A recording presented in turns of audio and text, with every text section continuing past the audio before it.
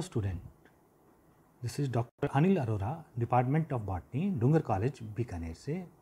आज हम इस वीडियो में रेड डाटा बुक लाल आंकड़ों की पुस्तक के बारे में बात करेंगे। ये रेड डाटा बुक ये लाल आंकड़ों की पुस्तक क्या है? The red data book is a public document पहली बात तो ये कि एक ये आम जनता के लिए उपलब्ध एक डॉक्यूमेंट है, एक ऐसी पुस्तक है जो सभी को उपलब्ध है। ये आखिर ये बनाई क्यों गई पुस्तक?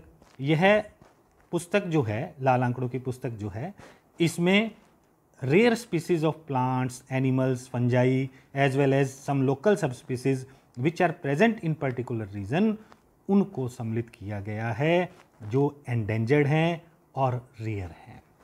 अर्थात संकटग्रस्त और दुर्लभ जो पादपों की, जंतुओं की फंजाई कवक इत्यादि की या कुछ विशेष क्षेत्र में पाए जाने वाली जो जातियाँ होती हैं, उनका संकलन इस पुस्तक में किया गया है। यह पुस्तक क्यों बनाएगी? इसकी क्या ये हमारी कैसे सहायता करती है? रिसर्च में, स्टडी में या किसी प्रोग्राम की मॉनिटरिंग के लिए जब हम संकटग्रस्त जातियों और उनके आवास के बारे में जानना चाहते हैं तो इस पुस्तक में यह सब संकलित किया गया है और यह उदाहरण सहित हमें आंकड़े उपलब्ध करवाती है।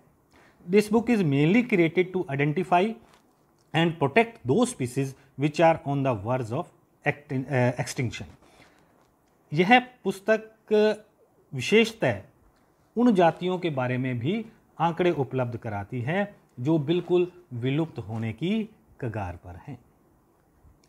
Brief history of the red data book लाल आंकड़ों की पुस्तक का इतिहास। The name of this book has its origin from Russia इस पुस्तक का नाम रशिया में रखा गया था। It was originally known as the red data book of the Russian federation और the R D B R F इसे originally red data book of Russia federation और the R D B R F के नाम से जाना जाता है।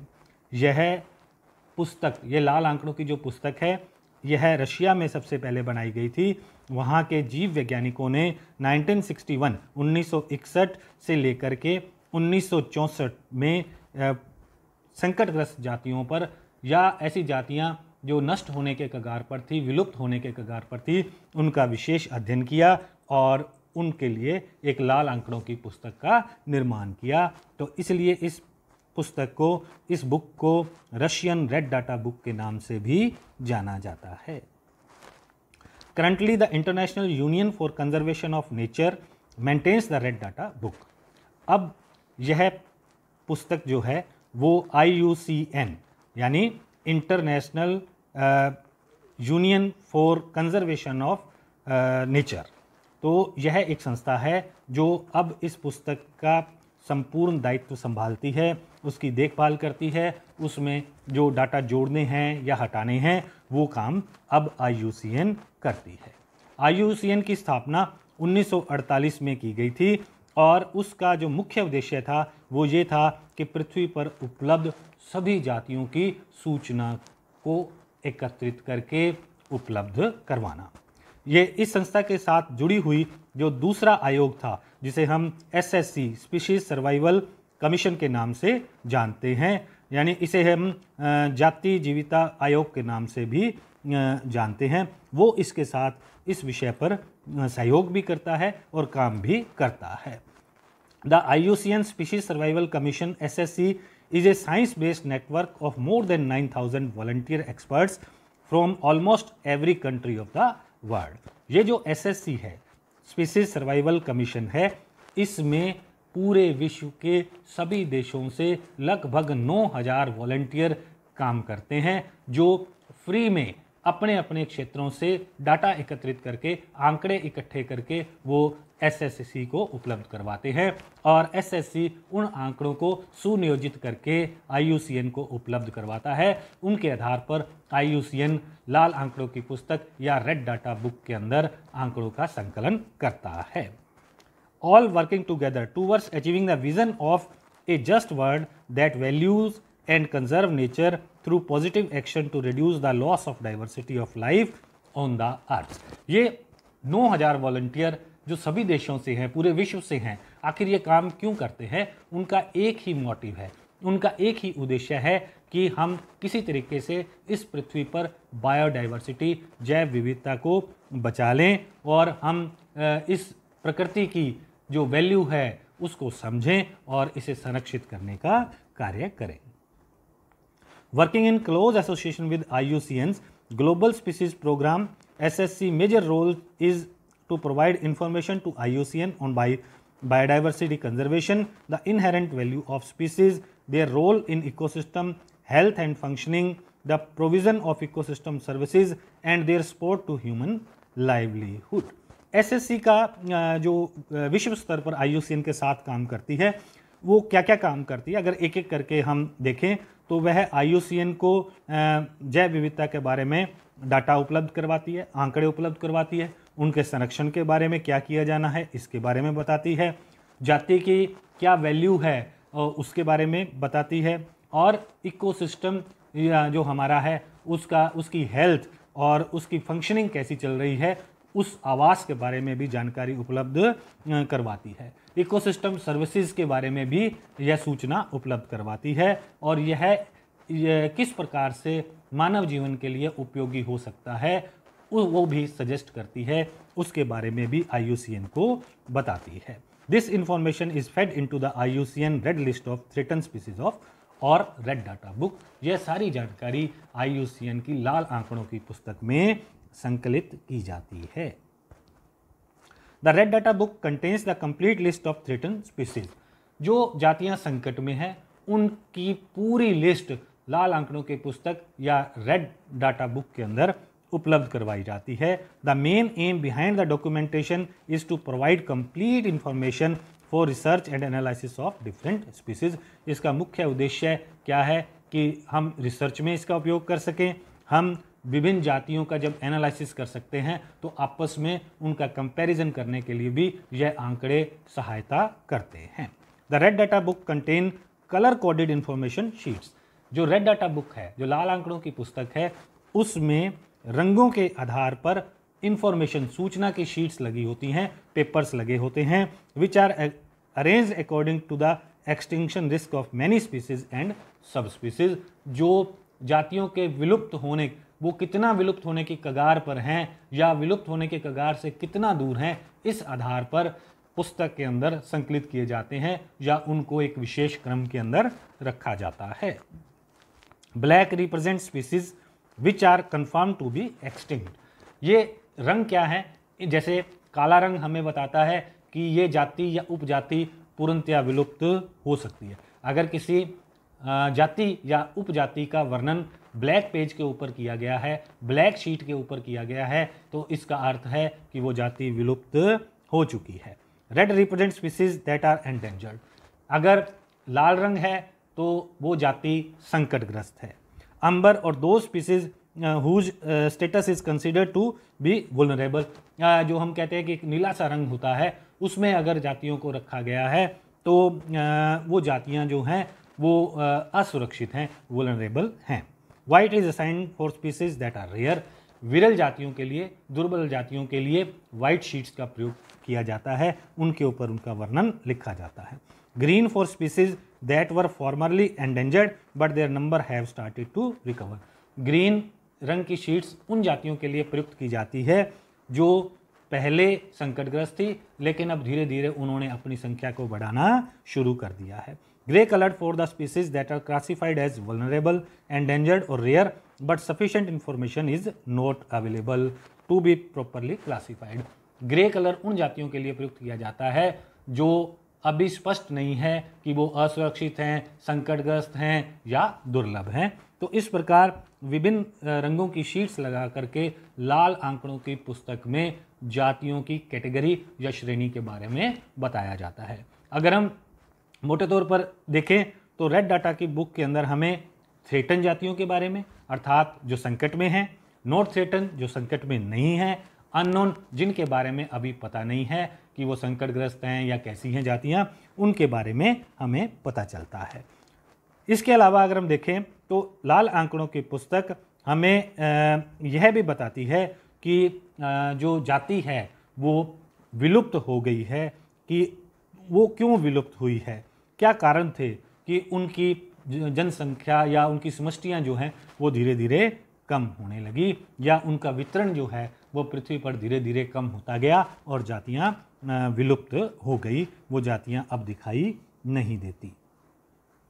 ये मैंने यहाँ पर इस स्लाइड के अंदर आ, हिंदी के अंदर शब्दों को बताया है। जैसे एक्सटिंक्ट विलुप्त होता है एक्सटिंक्ट इन वाइल्ड वन विलुप्त होती हैं क्रिटिकली एंडेंजर्ड घोर संकटग्रस्त को कहते हैं एंडेंजर्ड संकटग्रस्त को कहते हैं वुलनरेबल असुरक्षित को कहते हैं नियर थ्रेटन संकट निकट जातियों को कहा जाता है लेस कन लीस्ट कंसर्न संकट मुक्त को कहा जाता है डाटा डेफिशिएंट आंकड़ों का अभाव को कहा जाता है और नॉट इवेल्युएटेड अनाकलित, अर्थात जिनके बारे में अभी डाटा एकत्रित नहीं किए गए हैं।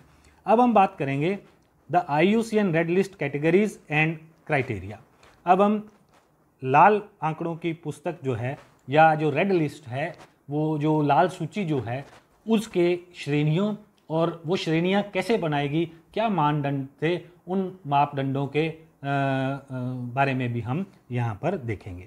The I U C N red list categories and criteria are intended to be an easily and widely understood system for classifying species at high risk of global extinction it divide species into nine categories I U C N जो red list है, जो लाल आंकड़ों की सूची जो है, उसके अंदर विभिन्न श्रेणियों और उनके मापदंडों को बड़े सरल तरीके से बताया गया है और हम उनके आधार पर जो जातियाँ हैं, उनको हम बांट सकते हैं, उन जातियों को हम वर्गीकृत कर सकते हैं। जैसे सबसे पहले उदाहरण लेते हैं एक्सटिंक्ट इसे ई एक्स द्वारा दर्शाया जाता है।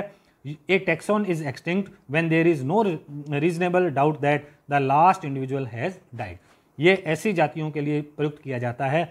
जब यह पक्का होता है कि वो जाति इस पृथ्वी से विलुप्त हो गई है, उसका एक भी सदस्य जीवित नहीं बचा है। एक्सटिंक्ट इन वाइल्ड इसको ई डब्ल्यू से दर्शाया जाता है। A taxon is extinct in extinct in the wild when it is known only to survive in cultivation in captivity और as naturalize population well outside the past range ये उन जातियों के लिए प्रयुक्त किया जाता है, जो वनों में, जो पहले उपलब्ध होती थी, अब पूर्णतया नष्ट हो सकी, हो चुकी हैं। अब इन्हें घरों में, गमलों में या किसी गार्डन्स के अंदर उद्यानों इत्यादि में उगाया जाता है। ऐसी जातियों को एक्सटिंक्ट इन वाइल्ड श्रेणी में रखा जाता है।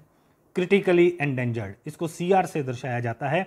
A taxon is critically endangered when the best available evidence indicates that it meets any of the criteria A to E for critically endangered and it is therefore consider to be facing an extremely high risk of extinction in the wild ये उन जातियों के लिए प्रयुक्त किया जाता है जिनका वनों से विलुप्त होने का खतरा बना रहता है। ऐसी जातियों के लिए कुछ मापदंड बनाए गए हैं। ये मापदंड क्या हैं? एक एक करके हम इनको देखते हैं।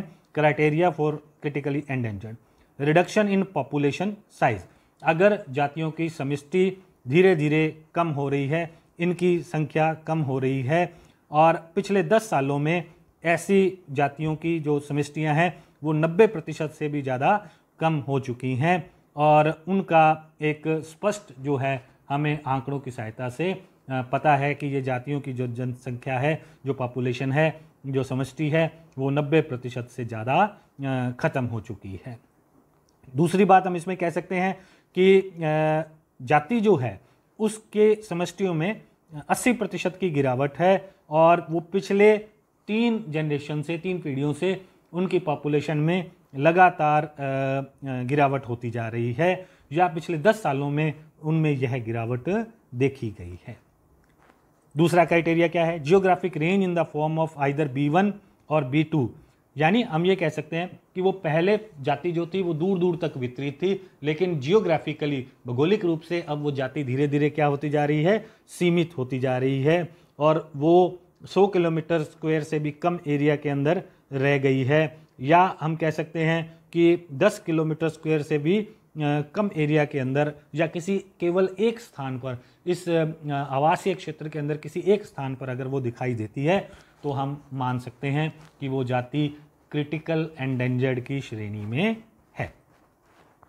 इसमें सी पॉइंट हम क्या कह सकते हैं कि population size estimated to number fewer than 250 mature individual and an estimated continuing at least 25 percent sorry, within three years और one generation whichever is longer हम ये कह सकते हैं कि इनमें से कि जो उनकी सेमिस्ट्री है उसमें जो मेच्योर इंडिविजुअल जो व्यसक सदस्य हैं, उनकी संख्या 250 से कम हो गई है और वो 25 प्रतिशत से भी ज़्यादा लगातार वो जो है वो कम हो रही है पिछले तीन सालों में या पिछली एक पीढ़ी के अंदर। इनमें से जो भी हमें अधिक बताता है, उसके आधार पर हम जाति को क्रिटिकल एंडेंजर्ड की श्रेणी में रख सकते हैं। Population size estimated to number fewer than 50 mature individual या हम ये भी कह सकते हैं कि जाति की जनसंख्या में या समष्टि के अंदर जाति के जो मेच्योर सदस्य हैं, जो व्यसक जो सदस्य होते हैं, उनकी संख्या जो है वो 50 से भी कम रह गई है। ई e पॉइंट क्या कहता है इसमें? इस क्राइटेरिया के अंदर, इस मापदंड के अंदर quantitative analysis showing that the probability of extinction in the wild is at least fifty percent within ten years और three generation whichever is the longer हम ये देखते हैं कि या तो अगली तीन पीढ़ियों के अंदर वो जाति पचास प्रतिशत से भी ज़्यादा विलुप्त हो जाएगी, या अगले दस सालों के अंदर वो जाति पचास वर्षों से पचास प्रतिशत से भी ज़्यादा संख्या के अंदर विलुप्त हो जाएगी। इनमें से जो भी लंबा हो, उसके आधार पर हम इस जाति को क्रिटिकल एंडेंजर्ड में रख सकते हैं। नेक्स्ट पॉइंट इज़ एंडेंजर्ड इसको ई e से दर्शाया जाता है। संकटग्रस्त वो जातियाँ होती हैं a taxon is endangered when the best available evidence indicate that it meets any of the criteria A to E for endangered हम संकटग्रस्त उनको मानते हैं जो ए से ई तक दिए गए मापदंडों पर खरे उतरते हैं। इनके बारे में हमें स्पष्ट एविडेंस जो सबूत जो हैं, वो उपलब्ध होते हैं कि ये जाति इन मापदंडों पर सही रूप से हमें आंकड़े उपलब्ध करवाती है। और ये जातियाँ जो संकटग्रस्त जातियाँ होती हैं, इनका वन्य रूप से विलुप्त होने का चांस अधिक होता है। अब क्या क्या क्राइटेरिया है एंडेंजर्ड के लिए?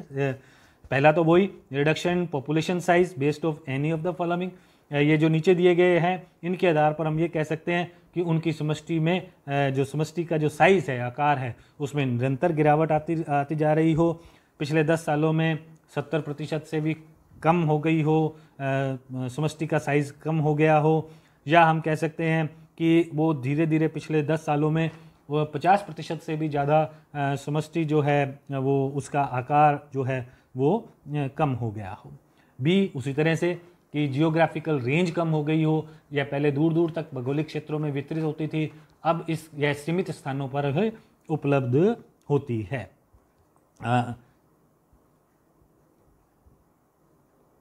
नेक्स्ट हम कह सकते हैं सी जो है population size estimated to number fewer than 2,500 mature individuals and an estimated continue decline at least 20 percent within five years और two generation whichever is long हम कह सकते हैं कि पिछले जो जो समस्ती इसकी उपलब्ध थी उसमें केवल ढाई हज़ार जो हैं व्यसक सदस्य बचे हैं। और पिछले पाँच सालों में समष्टि का आकार या सदस्यों की संख्या जो है, वो 20 प्रतिशत से भी ज़्यादा कम हो गई है, या पिछली दो पीढ़ियों में इनकी संख्या निरंतर गिरती जा रही है। D population size estimated to number fewer तो पांचवी जो श्रेणी है, पांचवी जो आयुसीएन कैटेगरी है, उसे हम वुलनरेबल कहते हैं। इसे वीजू द्वारा दर्शाया जाता है। हिंदी में इसे असुरक्षित श्रेणी कहा जाता है। A taxon is vulnerable when the best available evidence indicates that it meets any of the criteria A to E for vulnerable and it is therefore considered to be facing a high risk of extinction in the wild. यदि कोई taxon यदि कोई जाति अगर वो उसके बारे में ऐसा कोई ए से लेकर ई तक दिए गए मापदंड उनमें अगर वो खरी उतरती है तो हम कह सकते हैं कि ये जाति वुलनरेबल है और वन्य रूप से यह विलुप्त होने की कगार पर है, अर्थात यह जाति असुरक्षित है। वुलनरेबल के क्राइटेरिया या मापदंड क्या हैं, उन्हें हम एक एक करके देखेंगे। ए पर है, जैसे कि हम जानते हैं reduction in population size based on any of the following अगर इसकी समष्टि के आकार में कमी होती है वो भी कैसे? नंबर एक या फ़र्स्ट हम देखेंगे रिडक्शन इन पॉपुलेशन लगभग अगर 50 प्रतिशत या उससे भी ज़्यादा अगर पॉपुलेशन के अंदर समष्टि में आ, के आकार में कमी हो जाती है कब? पिछले 10 सालों में या पिछली तीन पीढ़ियों में। तो अगर हम ऐसा देखते हैं तो हम उसे वुलनरेबल की श्रेणी में रख सकते हैं। दूसरा क्राइटेरिया या मापदंड क्या है पॉपुलेशन के आकार से संबंधित? उसमें हम देखते हैं कि समष्टि का आकार 30 प्रतिशत या इससे भी ज़्यादा पिछले 10 सालों में कम हो गया हो या पिछली तीन पीढ़ियों से में लगातार इसकी समष्टि के आकार में कमी होती जा रही है तो हम ऐसे टैक्सोन को, ऐसी जाति को हम वुलनरेबल की श्रेणी के अंदर रख सकते हैं। इसका आधार होता है पॉपुलेशन साइज़ अर्थात समष्टि का आकार। इसके अलावा हम आगे देखते हैं बी मापदंड या बी कैटेगरी क्या है? Geographic range in the form of either B one और बी टू यहाँ पर हम देखते हैं कि समष्टि जो है वो पहले कितने भगौरिक क्षेत्र में फैली हुई थी और अब उसकी स्थिति क्या है?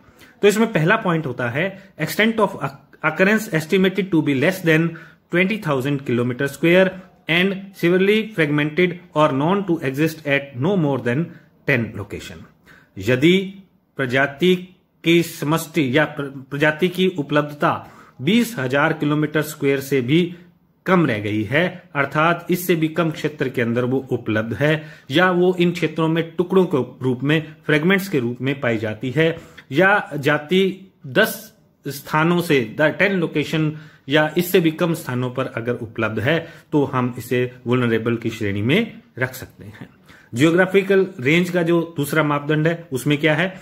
Area of occupancy estimated to be less than two thousand kilometre square and estimate indicate severely fragmented और known to exist at no more than ten locations यदि जाति 2000 किलोमीटर स्क्वायर से भी कम क्षेत्र के अंदर पाई जाती है और यह टुकड़ों के रूप में हमें जगह जगह पर हमें स्थान स्थान पर हमें टुकड़ों के रूप में मिलती है और 10 लोकेशंस 10 स्थानों से भी कम स्थानों पर यह उपलब्ध है। तो हम ऐसी प्रजाति को वुलनेबल श्रेणी के अंदर, असुरक्षित श्रेणी के अंदर उसे रख सकते हैं।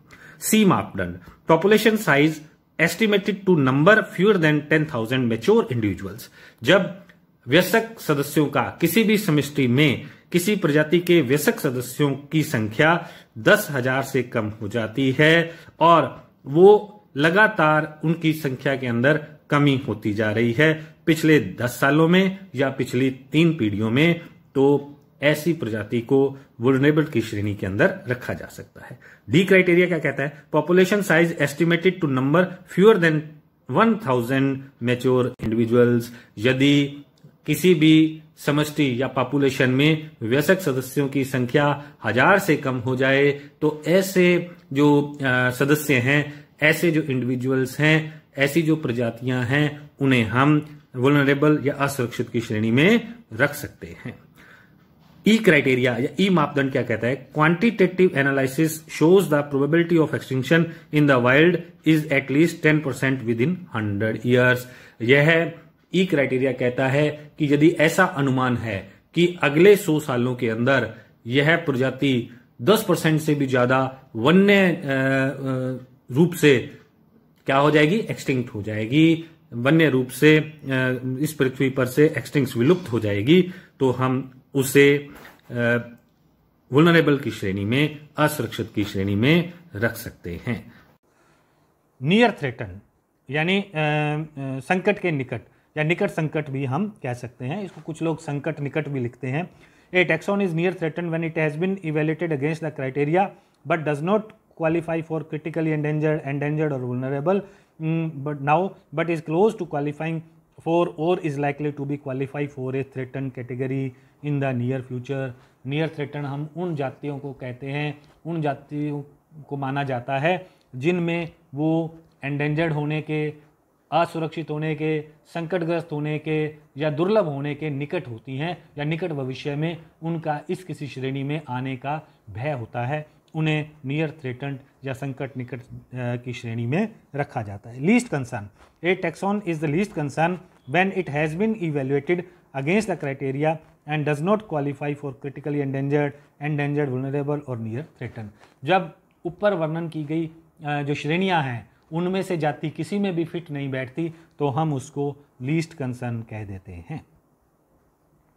डाटा डेफिशिएंट इसे डीडी से दर्शाया जाता है, जब भी किसी जाति के बारे में पूर्णतया सही आंकड़े उपलब्ध नहीं होते तो हम उसे डाटा डेफिशिएंट की, जिनके बारे में आंकड़े उपलब्ध नहीं हैं, अनुपलब्ध आंकड़ों की श्रेणी में हम उसको रख सकते हैं।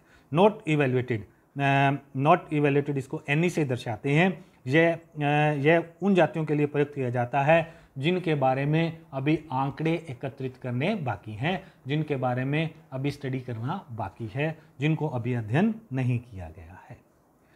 लाल आंकड़ों की पुस्तक या रेड डाटा बुक जो है, उसके एडवांटेजेस क्या हैं, उसके लाभ क्या हैं एक एक करके उनको देखते हैं। It helps in the identifying all animals birds and other species about their conservation status यह हमें सभी जातियों के संरक्षण के बारे में या उनके संरक्षण की स्थिति के बारे में आंकड़े उपलब्ध करवाती है, जानकारी उपलब्ध करवाती है। It is use to evaluate the population of particular species या एक जाति की समष्टि को इवेल्युएट करने का एक आंकड़े जो हैं वो उपलब्ध करवाती है या इसका हम उसके अंदर उपयोग कर सकते हैं। The data available in book can be use to evaluate the taxa at the global level इसके अंदर जितने भी आंकड़े हैं, उनको हम विश्व स्तर पर प्रयुक्त कर सकते हैं।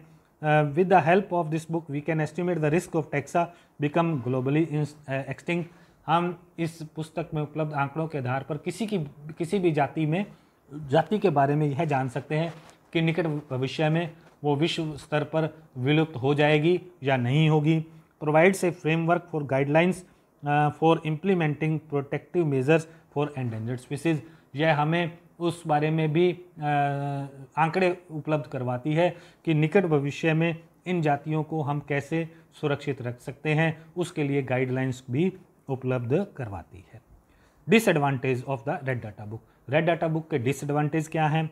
The information available in the red data book is incomplete red data या लाल आंकड़ों की पुस्तक में जो जानकारी दी गई है, वो इनकम्प्लीट है। Many species both extinct and extant are not updated in the book इस पुस्तक में जो जातियाँ विलुप्त हो गई हैं, या हम ये कह सकते हैं कि जो जातियाँ वापस धीरे धीरे एक श्रेणी से दूसरी श्रेणी के अंदर प्रवेश कर रही हैं, उनके बारे में हमें सही जानकारी उपलब्ध नहीं करवाती। The source of books data has been speculated and has been mired in controversy इस पुस्तक के अंदर उपलब्ध आंकड़े जो हैं, उन पर विवाद अक्सर बना रहता है। This book maintains the complete record of all animals plants other species but it has no information about the microbes इस पुस्तक के अंदर सभी पादपों, जंतुओं इत्यादि के बारे में जानकारी दी गई है, लेकिन सूक्ष्म जीवियों के बारे में कोई जानकारी उपलब्ध नहीं करवाई गई है। Thank you so much